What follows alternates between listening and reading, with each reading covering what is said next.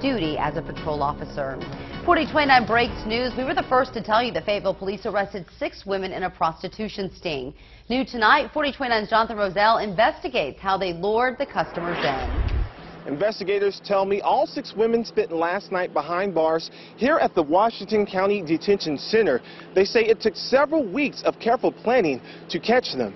Fayetteville police say these six suspects range in age from 19 to 30 years old.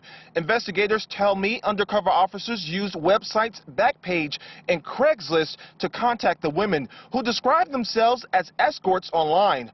Police say they met the women at a Fayetteville hotel where an agreement was made to exchange sex for money. The women were arrested one by one.